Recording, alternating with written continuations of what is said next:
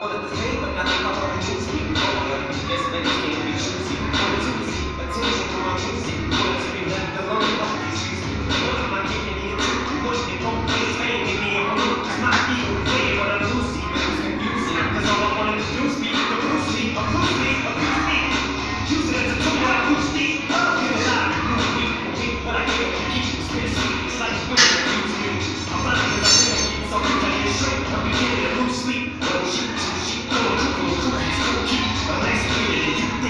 some